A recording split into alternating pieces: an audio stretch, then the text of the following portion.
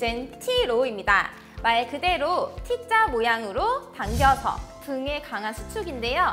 이번엔 등은 광배근이 아닌 내 어깨에 있는 후면, 후면에 있는 삼각근의 후면에 자극을 줄 건데요. 한번 보여드릴게요. 양 발은 골반 너비로 벌려주시고요. 펜, 밴드를 펼치셔서 발바닥 윗부분에 이렇게 걸어주시고 두 다리 밴드 아까보다는 텐션이 강하기 때문에 아까 두세 번 감았다면 이번에는 한두 번 감아주시는 게 아마 적당하실 거예요. 자, 저도 약간 끝자락에서부터 텐션이 강할수록 뒤로 잡아주는 게 좋으시고요. 감고 새끼손가락이 뒤쪽을 향할 수 있도록 해주시고 내쉬는 호흡에 양팔이 T자 모양이 될 수 있도록 당겨주십니다.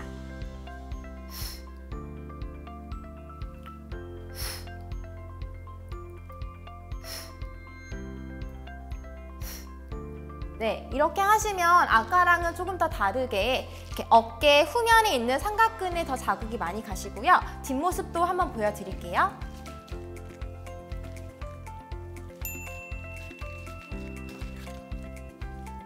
내쉬는 호흡에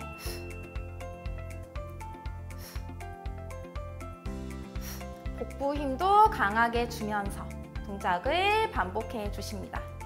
네, 마지막으로 정면 한번 보여드릴게요.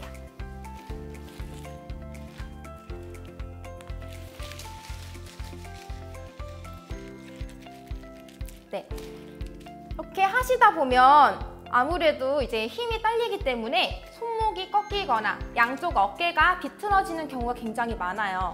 그러실 경우일수록 조금 더 약하게 잡아주는 걸 추천해 드리고요. 천천히 하셔도 됩니다. 천천히 복부에 힘을 강하게 주고 허리를 펴서 내쉬면서 양팔이 수평이 될수 있도록 특히 이 손목이 이렇게 꺾이지 않게 이렇게 되지 않게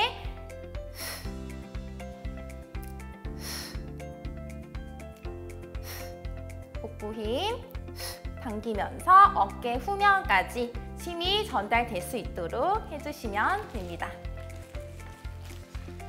네, 어떠셨어요? 아마 처음 동작보다는 조금 어려워서 좀 힘이 붙여질 수 있는데 조금 더 천천히 몸의 정렬을 맞추는 거에 조금 더 집중을 하시면 되고요. 아까 말씀했던 것처럼 어, 손목이 많이 꺾일 거예요. 손목 정렬 맞춰주시고 내 어깨 맞춰주시고요. 네, 횟수는 기본 15개 3세트 정도 하시면 되고요. 밴드의 강도에 따라서 조금 더 운동을 강도를 높여주시면 됩니다.